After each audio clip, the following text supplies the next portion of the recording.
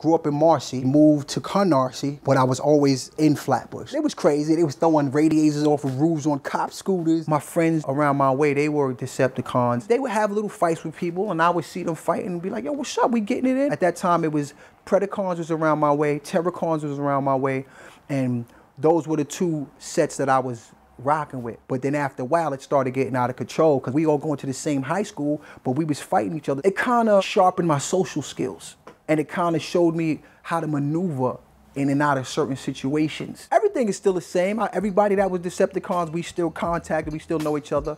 The difference is musically, I'm more inclined than I was before. Spit awkward, walk with unseen forces. I dine with alien kinds, flying saucers. My mind causes brains to pop like scanners. UG holds the answers Took the Spark Nation. The goons, the ape in the room. I go bonkers and send a spear through your armor. I'm a monster, I conquer kilometers to climb buildings. Peter Parker, Spidey sense, weird feelings. I hang from ceilings, non normal, irregular. Running speeds that speedometer can't register. My uncle, God bless his soul, passed away. When they used to have parties in Marcy, he used to get on the mic like Treacherous 3 and all of them used to be out. They used to come out to the parks, rock out in the parks and stuff. So I saw it. It was my uncle who was really, he get the mic, and everybody so glad. And this is at the at the barbecues, and I'm like, oh, he, he. I knew a bunch of poppers and lockers, and we used to go to Coney Island Boardwalk and battle, go to different projects and battle. So that was like my first engagement of performing hip hop wise. Then we used to do little shows and stuff. And after that, that's when the rapping part started coming. Me and my friend uh, Akim, we was doing our cellar dweller joint. And then when he left, me and fans started performing at the Lyricist Lounge. They thought we was a group already, but we wasn't. Cause he was Star Child solo and I was UG solo. And I was like, yo, you might as well. And he was like, yeah, we might as well do it. So then we wrote our first song together, which was Good Dwellers and Land of the Lost. We performed that. And then after that, we was terrorizing the Lyricist Lounge. As I grab my head zone and my heels three times, I wish I was home as I roam around can obliviate the state. Beat off your skin and dance to your pulse rate. My level plus 10 in the strength within have the power of 10 men. Ace gave us our first feature on his album called For the Mind. One day, how I knew it was serious, Masta Ace was like, yo, come with me to uh, Special Ed Studio. So I met him on Utica Avenue. We went to Special Ed Studio and we sitting in there talking. In comes Q-Tip. In my head, I'm saying to my, I can't believe this. Wait till I go home and tell my friends, blah, blah, blah. So him and Ace and them talking, and out of the blue, he goes, yo, man, I wonder who those Cellar Dweller kids got signed to. I saw them at the Lyricist Lounge. And Ace was like, there you go, right there. Tip was like, oh, I was trying to hold the fan down in me. I was like, yeah, yeah, what's up? You know, I was trying to be as cool as possible. And then we was cool. Then we just started meeting a bunch of DJs and Numb Funkmaster Flex, Big Buster. We just started meeting people. Met the Wu, that was family. Met Pun, that was family, and it was just dope, man. It was those was dope, dope years. Lyrically can't see me. I'm invisible, I'm invincible, and I'm back smash like rock stars tripping on asses. Avatar, battle scars connect with the tree of souls.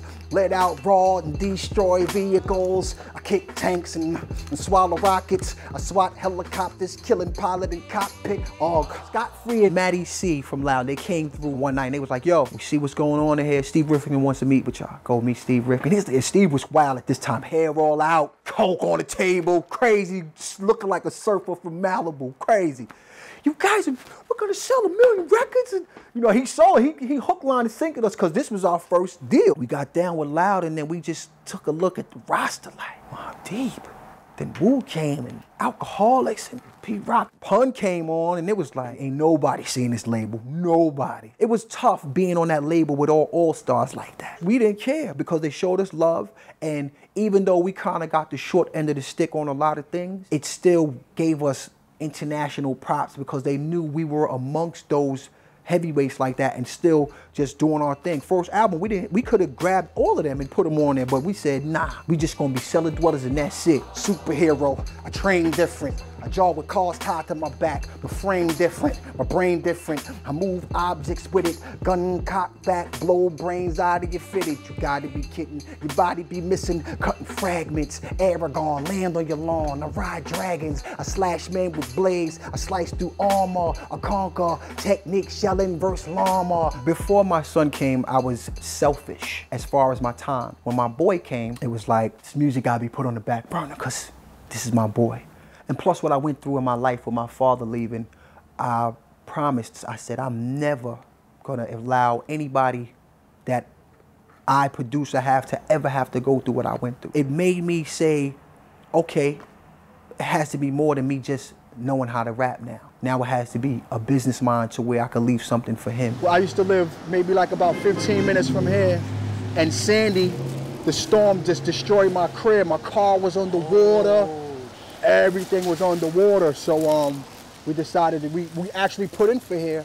And by the grace of God, we got here because it takes a little while to get in here. When we got here, we fought every single day. Every day, me and my wife fought, fought, fought. We was drinking, fighting, destroying holes, TVs on the floor, smashing everything. I had went away and did a show in Chile. They crazy. This guy gave us some hoodies. As I'm putting the hoodies on, the groupies are coming in, and a, a groupie comes on the side of me. She, with my shirt, she puts her hand by my shirt. Somebody takes a picture. Immediately, it's on Facebook. I come home. My wife got the picture on our pillow what the heck is this? Blah, blah, blah. So we fighting like cats and dogs, cats and dogs, cats and dogs. My wife said, well, you gotta let me know, did you cheat on me? Out of stupidity, I said, yeah, I did. That's what you wanna hear? From there, the warfare started. We at the divorce lawyer, papers. But we was going to church and the message was coming about how the enemy doesn't like family. He wants to break family up. He doesn't like a full household. And we started studying and started learning how to defeat the enemy. My church is right across the street, so okay. my story is deep, man. Like even from that flood, me and my wife, we just had a feeling that God pushed us here because we was trying to change our lives anyway. Because of God's grace and his mercy and me having faith and my wife having faith, we overcame that and now we're stronger than ever. God covered my son because my son could have grew up to be a menace because of the way we acted around him. God is planted that way because it's times I could have got killed. Like it's I've been in shootouts and everything. These are things that I look at and I say, I had to be covered by God because I know my, my friends now, young friends, they got in them situations and they're here. They not here now. It's not an easy walk, but I'm to walk it. And that's how I feel. You know what I mean?